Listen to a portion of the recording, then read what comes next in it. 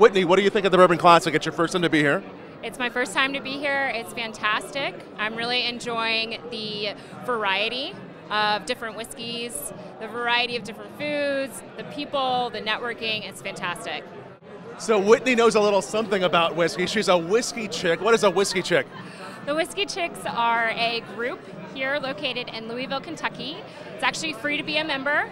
Uh, all ladies are welcome, and it's it's quite lovely. There's an educational experience to it. Our number one rule is just to sort of make new friends and love whiskey. You know, all in the process. So that's what it's all about. We have a, a, few different tasting series that we're actually doing with Westport Wine and Whiskey here coming up uh, in March, April, and May. So look out for that if you know you're a woman that also enjoys to drink whiskey.